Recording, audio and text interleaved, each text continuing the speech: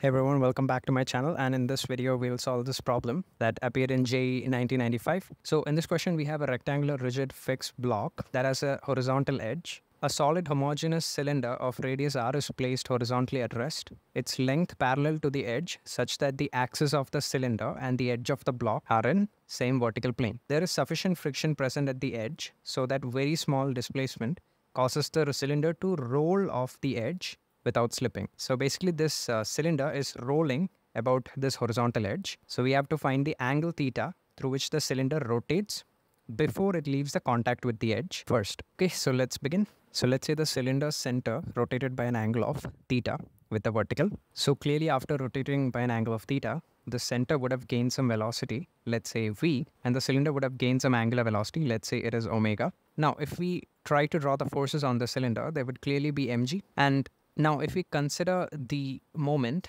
at which the cylinder slips off this point, at that special instant, the normal reaction on the cylinder would become zero. So we can say the net force towards the point O, which would be mg cos theta, would be providing the necessary centripetal acceleration of the center of the cylinder which would be mv squared by r. So from here, we can get a relation between v and theta. So now let's con conserve energy between initial point and the final point. So we can say initial potential energy plus initial kinetic energy would be final potential energy plus final kinetic energy. So initially, let's say we take the zero datum as this horizontal line over here. So the initial potential energy would be simply mgr and the initial kinetic energy was zero. So now the center is at a height of r cos theta from that datum so the final potential energy is mgr cos theta. Now point O is the instantaneous axis of rotation. So we can simply write the final kinetic energy as half I about instantaneous axis of rotation times omega square.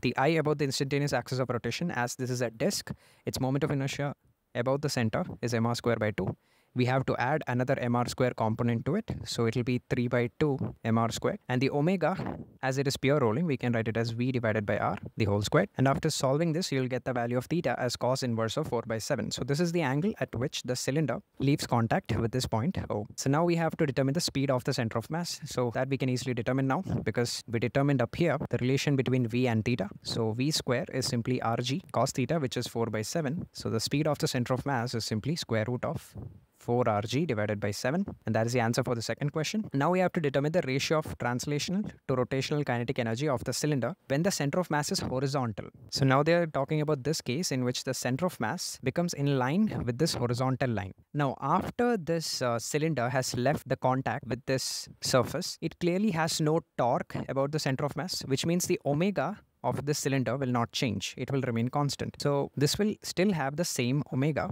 but the velocity of the center of mass would be now different, right? Because it has fallen through some distance, so its velocity is different now. Let's say it is v dash.